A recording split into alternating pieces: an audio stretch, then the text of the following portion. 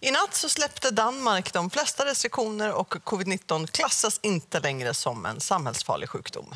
Mm, allt fler länder går nu samma väg. Det ska vi tala om nu tillsammans med Johan von Schreb. Eh, men först, Johan, så ska vi få en eh, rapport ifrån Köpenhamn där nyheternas reporter Gustav Röriksson befinner sig eh, denna morgon nu när restriktionerna har släppts. Ja, god morgon Gustav, vad, vad har du noterat? Ja, alltså dels så kan man ju säga det att eh, här bakom mig så är det inte jättemånga som går upp just nu, men innan så var det inte särskilt många som hade munskyddet på sig för att munskyddskravet på de flesta allmänna platserna är ju borta, precis som då covidpasset och flera andra danska restriktioner. I de danska medierna ser man också idag hur det har varit en blöt natt på rätt många krogar och nattklubbar. Mm, det kanske är därför som det är eh, sparsamt med folk bakom dig denna morgon. Men eh, Gustav, hur kommer det sig att man har fattat det här beslutet då, trots att det ju faktiskt är en relativt hög smittspridning i landet? Ja, visst är det en hög smittspridning. Eh, man räknar att uppemot var tionde dansk har varit smittad i covid-19 bara den senaste månaden. Men det är ju först och främst ett politiskt beslut av den danska regeringen och samtliga partier i den danska riksdagen, Folketinget. Men till bakgrunden så har man en så kallad epidemikommission som består av olika representanter från eh, flera ledande myndigheter. Och där är man ense om att eh, covid-19 inte längre kan klassas som en samhällsfarlig sjukdom i Danmark. Och även om det är en hög smittspridning så tittar man där på eh, antalet inlagda på IVA som faktiskt sjunker mm. trots att det är ett så högt smittotryck. Du Gustav, hur påverkar det här pendlare mellan Sverige och Danmark, de som, som pendlar över sundet? Ja, pendlingssituationen har inte varit eh, jättekaotisk det senaste året. Men eh, en sak som definitivt kommer att göra livet enklare för svenskar här i Danmark det är ju att eh, coronapasset har försvunnit. Det är bara giltigt i fem månader. Så om man till exempel fick sin andra dos i augusti men inte har fyllt på, ja då kunde man bli nekad på någon av restaurangerna här bakom mig på Ströget senast igår. Mm. Tack så mycket för den rapporten, Gustav, direkt ifrån Köpenhamn. Och här i studion så har vi alltså Johan von Scheer, läkare och professor i global katastrofmedicin vid Karolinska institutet. God morgon och välkommen God morgon. igen. Ja, men allt fler länder lättar ju faktiskt på restriktionerna nu. Mm. Följer alla bara efter varann eller finns det liksom faktiskt data för att det är rätt tidpunkt att göra det nu? Ja, det är en bra fråga och om det liksom är politiken den här gången som styr eh, på ett annat sätt än vad, vad det har gjort tidigare. Men Eh, det verkar ju som att den här omikronvarianten inte är lika farlig, men att den sprider sig betydligt eh, snabbare. Men att mm. sjukvården inte är lika hårt belastad, även om den är hårt belastad. Och eh, I Sverige så har vi sett sista dagarna att det har ökat lite grann på, på IVA, platt, eh, IVA faktiskt. Men, men, jämfört med Danmark då, som ju har en betydligt högre eh, smittspridning än vad vi har. De testar ju mycket mer i Danmark än vad vi gör, så att de letar ju och, och har varit väldigt aktiva på att göra det.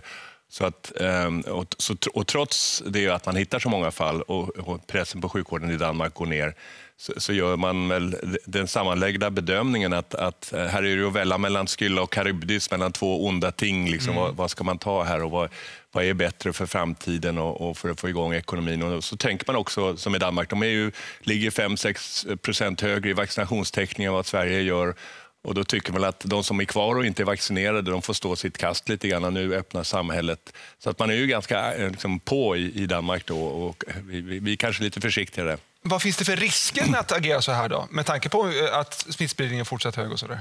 Ja, det är klart det finns en massa risker um, att, liksom, att den ändrar karaktär, epidemin, men allting tyder ju på att, att vi går mot uh, en, en form, någon form av så kallad flockimmunitet där alla har liksom varit exponerade, haft eller varit vaccinerade mot det och det kommer ju minska trycket och då kommer ju smittan avta. Det, allting tyder ju på det. Mm.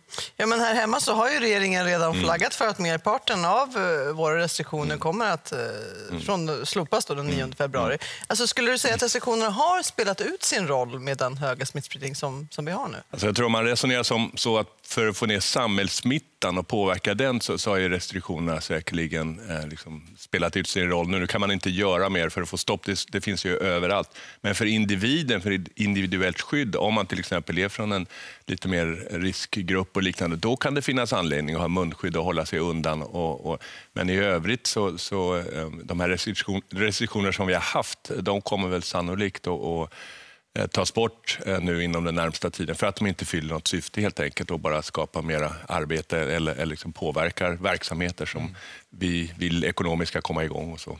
Igår kom också besked från Folkhälsomyndigheten att man kortar eh, rekommendationen på, på intervallet mellan dos 2 och 3 från f- minst fem månader till minst tre månader. Vad, vad kan det ha för betydelse?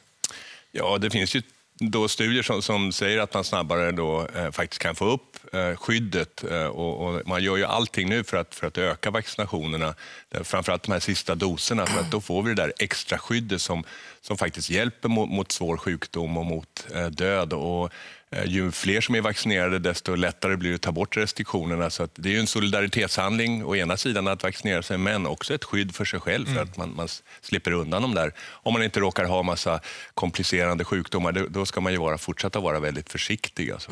Ja, men förstås.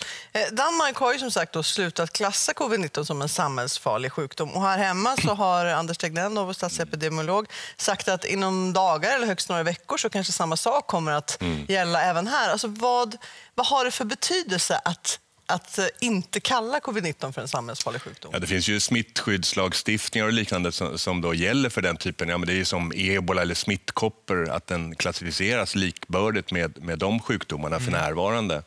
Och utifrån hur det ser ut nu och hur situationen har, har förändrats så måste man göra en ny bedömning över läget och, och, och då är det kanske inte mer rim, än, än rimligt än, än, än att man då slutar att klassificera den som, som en samhällsfarlig sjukdom helt enkelt.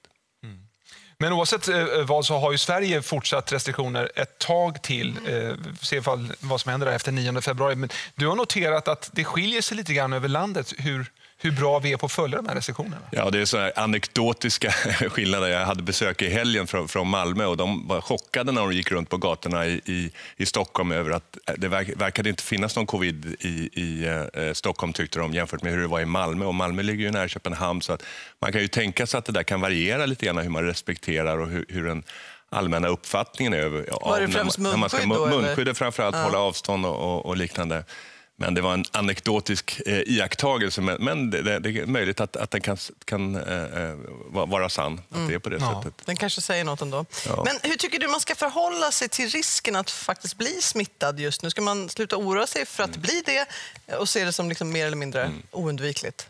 Alltså, oro tycker jag är en ganska dålig strategi från början, så att, så att, och jag är väl kanske lite så här rationell utav mig. Så att, eh, oro ty tycker jag man, man ska lägga åt sidan. Allting ser ju väldigt eh, positivt ut nu, men förstås, eh, som det har varit längs vägen med, med covid, så får vi vara beredda på att det kan bli några eh, krack i, eller, eller vägen kanske inte blir spikrak och vi kommer nog se en del utbrott som, som under våren här. Men förhoppningsvis fram till hösten att det ändå har lugnat ner sig. Och fram till dess så behöver man ju inte kasta munskydden om man har haft munskydd tidigare. Man kanske mår bra av det och de här lite tätare munskydden de är ju faktiskt väldigt bra för att, för att skydda individer.